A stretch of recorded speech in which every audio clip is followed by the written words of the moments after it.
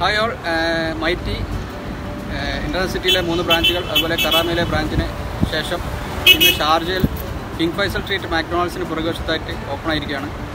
നമുക്ക് uh, പുതിയ ബ്രാഞ്ചിലേക്ക് ഒന്ന് പോകാം